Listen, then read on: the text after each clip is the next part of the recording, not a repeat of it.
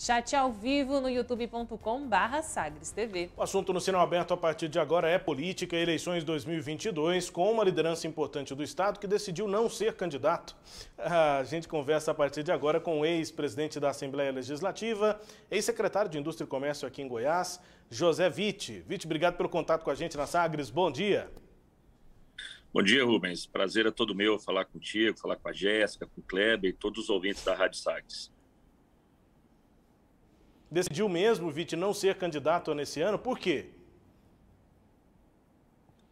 Olha, Rubens, é uma decisão, foi uma decisão extremamente difícil, uma decisão extremamente pensada há alguns meses, mas que priorizei muito a questão familiar e a questão empresarial. Eu, os negócios se expandiram um pouco para outros estados, e eu vejo que eu teria um pouco de dificuldade de mobilidade indo para a Assembleia. Não sei se eu ganharia a eleição, mas caso ganhasse, a questão de mobilidade, a questão do tempo. Então, eu não consigo, eu tenho dito a muitas pessoas, eu não tenho, eu não consigo ser meio político. É, então, eu, eu, resolvi tomar essa decisão, porque sei que eu acabaria me envolvendo muito politicamente, o tempo seria é, escasso, e eu teria muita dificuldade também em relação à minha questão familiar. Eu tenho né, uma filha de seis anos, um filho de quatro, e estou para ganhar um terceiro filho é, agora em março. Então, eu priorizei também ter o tempo ao lado dos meus filhos e da minha família. Acho que uma, uma avaliação assim que foi corrente quando houve essa divulgação de que o senhor não seria candidato é de que o senhor tinha mais ou menos condições ou circunstâncias semelhantes quando foi deputado estadual, quando foi presidente da Assembleia e agora, mais recentemente, como foi secretário estadual. O que é que efetivamente mudou? Se o senhor tinha circunstâncias semelhantes antes e agora eh, não, não acha que teria essa possibilidade de, de ocupar de novo um cargo? Não, na verdade, quando eu tomei a decisão e era presidente da Assembleia de não disputar a eleição, ela era, foi uma decisão muito semelhante, sem dúvida nenhuma, é, mas que foi motivada por um problema de saúde. Posteriormente, um problema que foi resolvido, mas naquele momento me assustou. Então, eu resolvi tomar naquele momento a decisão de não ser candidato.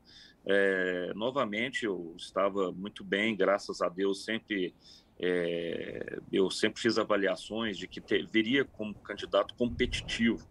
É, sempre tive um apoio maciço é, da minha região, sempre fui muito bem respeitado enquanto representante é, é, do, dos municípios aos quais eu sempre representei, mas é, dessa vez foi muito exclusivamente em função do tempo que seria tomado, até porque as circunstâncias, possivelmente se eu venço a eleição, acaba se, se especulando que eu voltaria é, a ser candidato a presidente. É, vamos dizer que isso é, houvesse êxito, aí sim o meu tempo estaria muito escasso. Então, é, eu tentei fazer com que minha vida se ajustasse nesse período que eu fiquei ausente, mas é, é o tal negócio. Quando você tem é, aquele velho ditado, quando o dono está próximo, as coisas elas acontecem de uma maneira melhor. E acabou, acabou acontecendo comigo. É, meus negócios foram se expandindo para outros estados e, consequentemente, eu vejo que você ter uma obrigatoriedade de, pelo menos às terças, quartas e quintas-feiras, você estar presente em plenário, isso me dificultaria muito a minha locomoção e a minha mobilidade para as minhas empresas. É, tem deputado que parece não saber da obrigatoriedade, mas enfim, no caso do senhor, o senhor considera que teria que dedicar esse tempo para as sessões terça, quarta e quinta. Ô, ô Vite, e o senhor pretende abandonar completamente a política? Eu sei que o senhor tem muitas não. relações, por exemplo, claro, no governo do Estado, mas na, em, na cidade de Goiânia também. O senhor tem aproximado contatos aí é, na cidade de Goiânia. Como é que o senhor deve atuar fora de um cargo público, sem disputar eleições, mas sei que o senhor ainda tem é, relações políticas nesse, nesses dois âmbitos aí, principalmente em Goiânia, me parece. É, eu tenho, eu tenho sim, é, Rubens, eu tenho, é, graças a um trabalho que a gente sempre fez de muita proximidade, nós temos sim, é, dentro da cidade de Goiânia, é, havíamos inclusive o anseio de, é, já sonhamos e ainda sonhamos, quem sabe, disputar um cargo ao executivo aqui da capital, é, mas eu não pretendo eu não pretendo me afastar completamente não. Eu devo participar do processo eleitoral, é, vou de, de, de, maneira que já adiantar que eu estarei muito presente na campanha do presidente da Assembleia Legislativa, ao qual a gente manifesta o sentimento de pesar a ele por ter perdido o pai é, na tarde de ontem, mas é um amigo que eu tenho, uma pessoa ao qual sempre me incentivou a voltar para o cenário político na minha primeira parada, então eu tenho esse compromisso com ele e estarei presente sim nas eleições é, estaduais desse ano. Obviamente, a minha decisão em função da Assembleia foi como eu te disse, é, a obrigatoriedade muitas vezes de cumprir um, um, uns horários que me dificultaria. Então, eu sei que lá na frente, é, se eu ganho eleição, como eu te disse, é, seria quase que inevitável uma disputa para a presidência. E vencendo, é, eu me, me, não só as terças, quartas e quintas, mas segundas e sextas, enfim, finais de semana, isso me tomaria um tempo tremendo. Então, por isso eu fiz essa, essa escolha difícil de ser, de ser tomada, tendo em vista que é, por duas vezes a gente via condições é, reais de, de, de, ganhar as eleições. É, deixamos muitos companheiros aí, né, aflitos e decepcionados, mas todos entendendo que a decisão ela é estritamente pessoal e, e claro, tomado com bastante razoabilidade. Então, agora eu vou participar sim das eleições, é, devo me inserir novamente, quem sabe lá na frente eu consiga ajustar as minhas questões e lá na frente eu volto. Eu ainda estou novo, eu acho que ainda tenho um pouquinho de, de chão para queimar aí para ser candidato no futuro próximo. Ah, tem lenha, tem lenha para queimar. E só antes de passar aqui para o Kleber Ferreira, Viti, em relação a Goiânia, como é que o senhor avalia? O senhor disse que vai participar da, idade, da campanha né? de Lissau Vieira.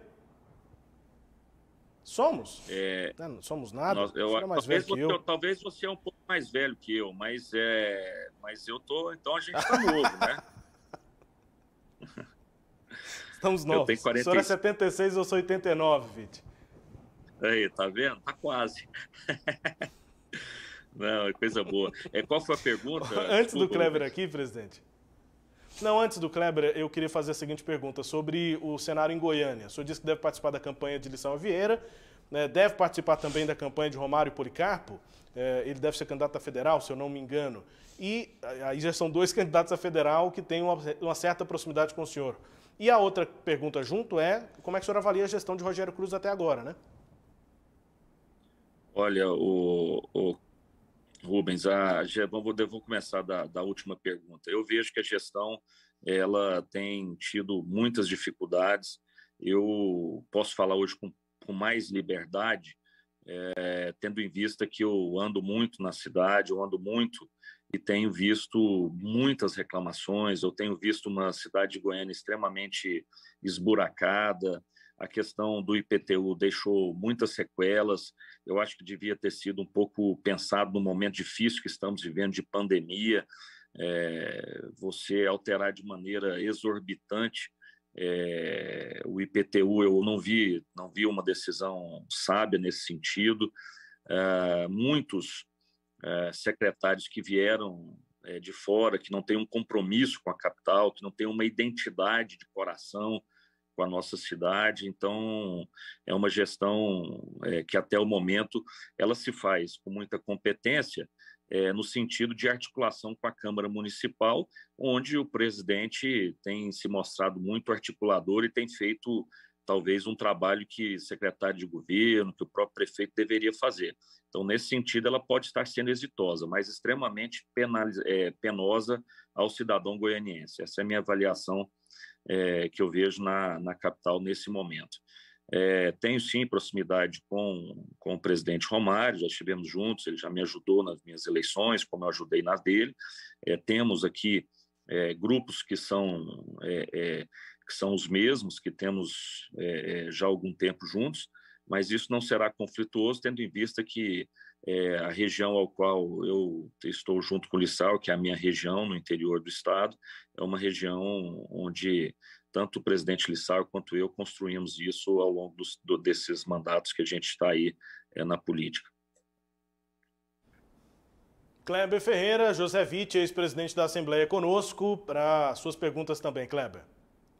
Pois é, estava com saudade de entrevistar o José Witt. Ele, a gente conversou um pouco fora do ar antes, eu já sabia da decisão dele em função dos negócios, da expansão dos negócios para fora do Estado, né? antes do problema de saúde, e é bom falar com ele novamente. Eu vou começar, Witt, antes de entrar na sua carreira propriamente dita, eu vou começar pedindo para você fazer duas avaliações, né? como presidente da Assembleia, eu pude observar que você é observador, extremamente observador, meticuloso, perfeccionista, aquela coisa toda. Que avaliação você faz da atual legislatura da Assembleia Legislativa?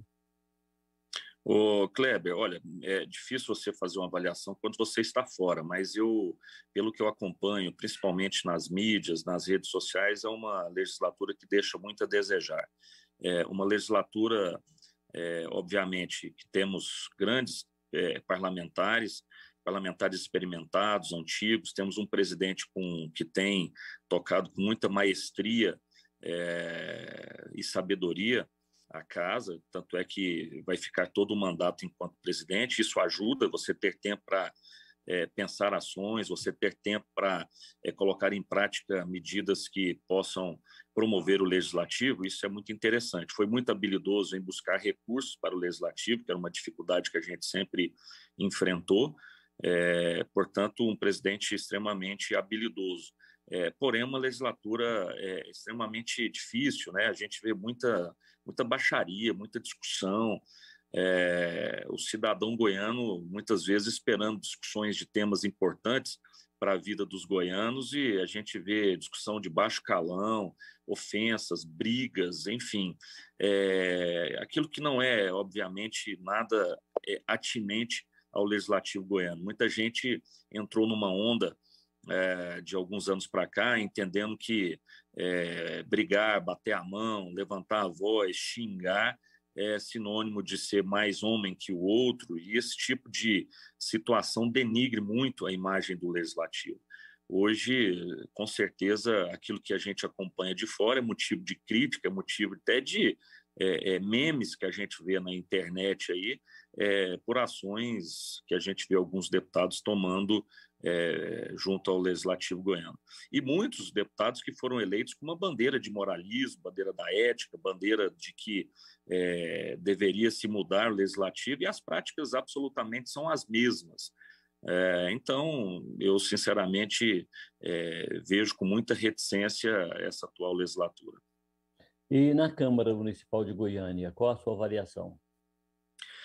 Olha, a Câmara está muito no início, né, Kleber? Mas é, muitos políticos experimentados, já ex-deputados que estão lá dentro, ex-deputados federais, ex-deputados estaduais, políticos experimentados, políticos que vêm justamente dessa onda é, é, que se formou no país nas eleições passadas, muitos levantando a, a bandeira bolsonaristas, outros defendendo outras é, bandeiras mais à esquerda.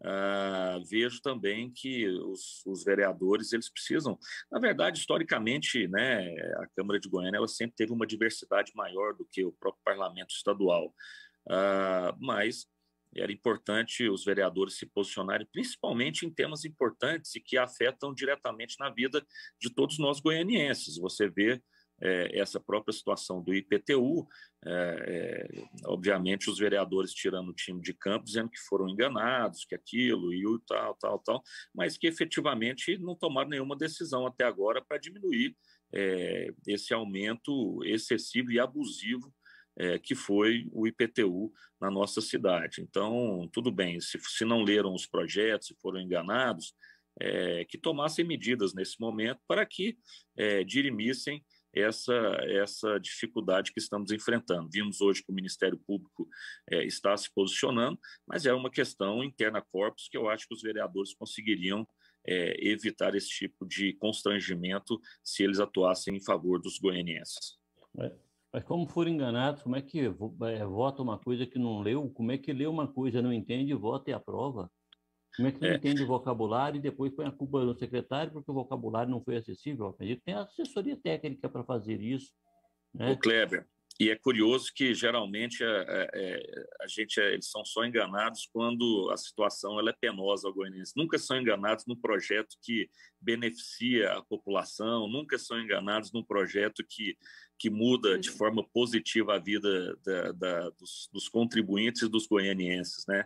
Isso que sempre é curioso. Pois é. O seu, seu projeto para o retorno à vida pública é para quando? Não, eu não faço, eu não faço é, planos, mas eu, como eu te disse, é, muitas vezes eu me pegava também, Kleber, de uma maneira interna, apesar de ser um apaixonado pelo legislativo, é, é, principalmente na, na, Assembleia Legislativa, porque eu sei que eu deixei marcas importantes para o legislativo. Muitas das ações que estão sendo exitosas hoje na, na, na gestão é, do presidente Lissau, elas se iniciaram na nossa gestão. Eu sei que é, tenho, sem dúvida nenhuma, uma, um, uma aceitação muito grande por parte dos próprios servidores da casa, porque sabe do nosso compromisso, que foi muito sério, muito correto na administração é, da coisa pública. É, mas muitas vezes eu pensava, poxa, será que é o momento de eu estar novamente voltando para a Assembleia Legislativa? É, será que não era? Será que um outro projeto não me não me mexeria mais comigo? Então, é, eu sempre tive comigo de que é, é, possível e principalmente nas próximas eleições eu vejo que Goiânia está com, vivendo um vácuo administrativo. Então, quem sabe eu tenha tempo para trabalhar é, para futuramente, quem sabe, disputar o pleito municipal na nossa cidade. Vou tentar trabalhar ao longo desses anos até chegar é, 2024 com, com esse intuito. Se entender. Mas é, você é, me surpreenderia, por exemplo, se na, na é, sucessão de Rogério Cruz você aparecesse como candidato a prefeito? Seria uma surpresa? Ou eu posso esperar isso do José Witt? Não, não, eu, eu, eu acho que pode esperar. E é isso que eu vou trabalhar. Eu quero ter tempo para me trabalhar de maneira é, independente, de uma forma apresentar à cidade de Goiânia Goiânia, que a gente precisa ter é, um prefeito, principalmente, que tenha amor pela nossa cidade, que viva intensamente, com todo respeito que eu tenho ao prefeito, eu acho que o prefeito foi vereador, é, conhece, mas, mas veio de fora, não tem aquele compromisso é, que muitas vezes faz a diferença, você ter um compromisso é, emocional, de coração, de sentimento pela cidade que você vive. E isso a gente adquire é, já ao nascer. Né? As coisas não vêm é, é, simplesmente, ah, né, cheguei em Goiânia há pouco tempo e já é uma cidade a qual eu tenho é, é, raízes muito fortes. Então, e mais do que isso, quem sabe um gestor. Eu acho que a cidade de Goiânia precisa de um gestor efetivamente, alguém que, que venha é, que não seja eu, mas eu entendo que essa pessoa precisa, sim, ter uma noção administrativa, ter um compromisso de saber guiar os rumos de, um, de uma cidade tão grande quanto Goiânia, trazer inovação, é, trazer tecnologia, é, enfim, eu, eu vejo que Goiânia precisa disso e acredito que isso vai acontecer nas próximas eleições. o cidadão goianiense é, vai fazer uma opção certeira para que alguém possa efetivamente, que saiba de gestão, administrar nossa cidade. Eu tenho mais duas perguntas para finalizar a entrevista. É... Marconi Perillo, o senhor já esteve na mesma trincheira, embora nunca tenha sido aquele aliado de primeira linha, vamos chamar assim, de frente, embora tenham origem na mesma cidade. Conhecendo Marconi, então, como o senhor conhece, disputa a eleição para governador? Kleber, eu, eu acho que é, Marconi vai disputar a eleição. Tenho quase convicção, é, é, quase não, eu tenho convicção disso. É, as, suas, as suas últimas ações e as suas ações que ele tem tomado é, recentemente levam a crer que ele será candidato. É, muita, muita chance, eu acredito, de ser candidato ao Senado Federal. mas o Marconi é um estudioso político, ele conhece, tem experiência. Se ele sentir que existe uma chance é, de vir candidato ao governo, eu acredito sim que ele que ele vai disputar. Mas eu ainda acho que hoje é, ele disputaria uma eleição para o Senado, tendo em vista que pelas próprias pesquisas ele está bem posicionado e acredito que é, ele tendo convicção de que a eleição, se ele sairá vitorioso, ele com o mandato na mão, ele teria mais chances de pavimentar a sua volta ao governo é, numa próxima eleição. E Bolsonaro ou Lula? É difícil, né? É difícil essa. essa não sei se você está perguntando em quem eu voto ou quem vai ganhar. É, quem, quem vai ter o seu apoio? Ah, eu, eu preferia que, que, que é um fosse... apoio considerável. É, eu preferia que não fosse nenhum dos dois nesse momento. É, acredito que estamos vivendo. Eu acho que qualquer um que venha disputar e qualquer um que venha ganhar, se for os dois, nós teremos bastante conflitos no futuro da nossa é, da nossa nação. É, são grupos hoje extremamente raivosos, são grupos extremamente é, é, atuantes de maneira a disseminar fake news, tanto de um lado como para o outro, extremamente, um extremamente à direita, outro extremamente à esquerda. Eu acho que nós tínhamos que ter um candidato mais ponderado, com mais condições de pacificar o nosso país. Nosso país hoje é, enfrenta tamanhas dificuldades. É, agora, se eu tivesse que escolher entre Lula e Bolsonaro, eu escolheria Bolsonaro. Ok, Rubens, as minhas perguntas ao ex-deputado José Pitt ele já esclareceu as dúvidas que eu tinha.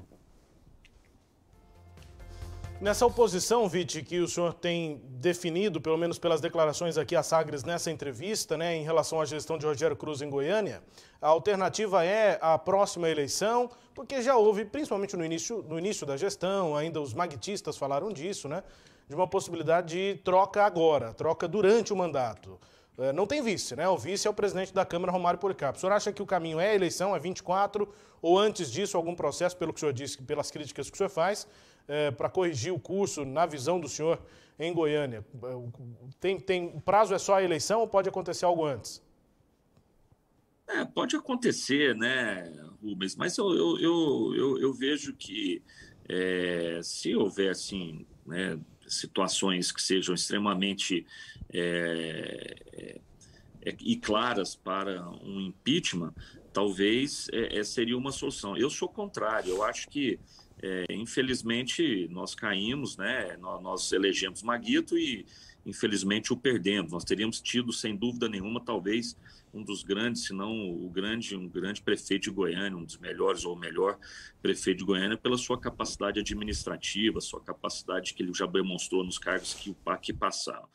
É, mas é, o destino levou o Rogério a ocupar essa, essa cadeira. O que a gente é importante, né, as pessoas entenderem quando ocupam um cargo tão importante, é, principalmente no caso do Rogério, ele entender que a eleição foi não foi dele, né, foi do Maguito. Então, é, ouvir as pessoas, ter humildade, sabedoria de poder tomar decisões é, colegiadas e não só de foro íntimo, é, ouvir um pouco mais as pessoas que estão é, na capital, andar um pouco, ser um prefeito mais presente junto à população, isso ajuda, mas se não for, é sem dúvida nenhuma até 2024. Obviamente, é, a gente já tem visto aí algumas, algumas medidas aí que possam, talvez, é, culminar até no impeachment, né? A gente que conhece um pouco das entrelinhas, a gente vê no, a gente vê um solo sendo preparado para que isso aconteça. Isso é muito traumático, né? E seria traumático para a cidade de Goiânia. A gente não precisaria disso. É, agora, a gente precisaria que os próprios vereadores, aqueles que estão na gestão com o próprio Rogério, tivessem o entendimento e começassem a ouvir mais a, a população é, no sentido de poder tomar medidas que venham amenizar esse, esse sofrimento que estamos vivendo e no momento tão difícil que estamos vivendo. Né? Nós estamos extremamente penalizados devido à pandemia, então é o momento do poder público entender a realidade da população e tomar atitudes que, que venham ao encontro e ao anseio é, daquilo que o goianiense espera.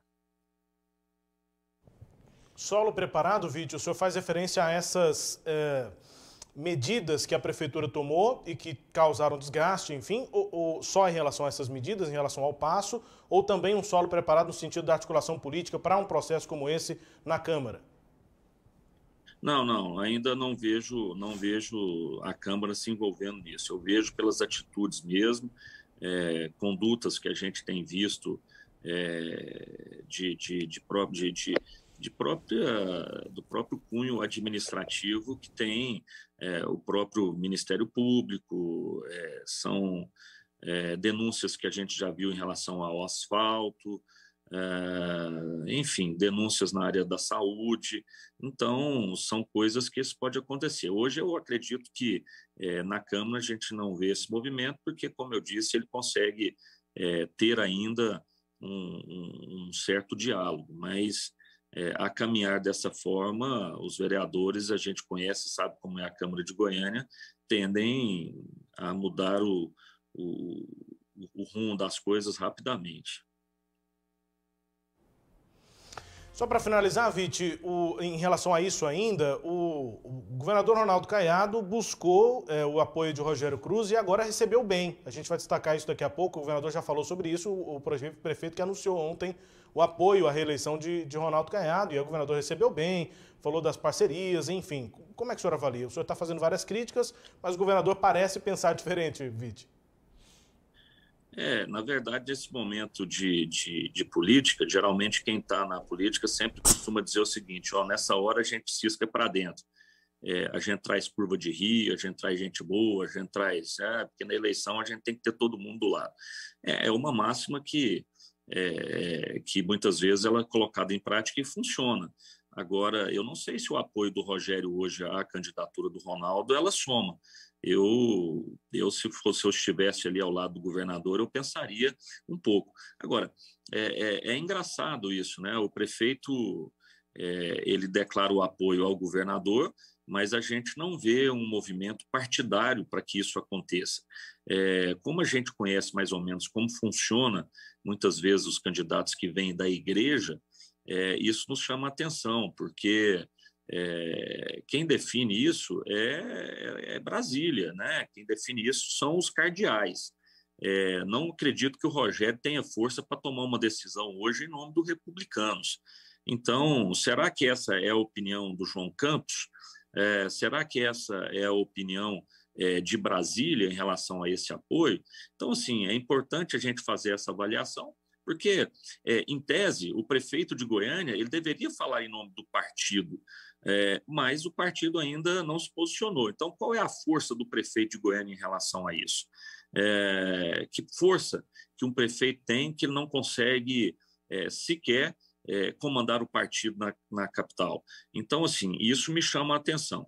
E outro fato é justamente esse que eu acabei de dizer. Eu, eu acho que hoje é, o apoio do prefeito de Goiânia à candidatura do governador, ela mais desagrega do que agrega. Então, acho uma decisão precipitada e uma decisão onde é, teria tem, hoje tem muito mais desgaste ao governador do que propriamente é, angariar votos e, e, um apoio que seja efetivo é, que, e determinante na sua eleição.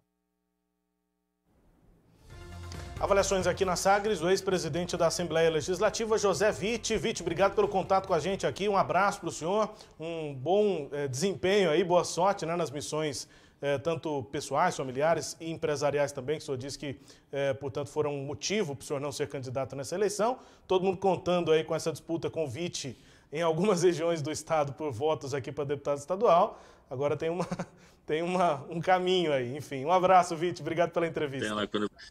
Eu que agradeço, Rubens. É sempre um prazer falar contigo. Eu sempre, sempre tenho dito, eu te admiro muito ao longo já de muitos anos. É sempre motivo de alegria ser entrevistado por você, hoje pela Jéssica e também pelo Kleber. É, um grande abraço a todos os ouvintes e telespectadores também da Rádio Sagres e colocando que a gente está aí sempre à disposição e continuaremos aí é, é, militando na política, mesmo sem ser candidato, mas agora com mais liberdade de poder opinar, de poder é, trilhar um caminho que lá na frente seja mais interessante para a gente. Um grande abraço, muito obrigado e um ótimo dia a todos. Um abraço. Obrigado pela entrevista. José Vitti, ex-presidente da Assembleia Legislativa, conversando conosco aqui no Sagres Sinal Aberto. Destaque a íntegra dessa conversa. Você confere acessando o nosso portal sagresonline.com.br. Agora 8 horas e 3 minutos.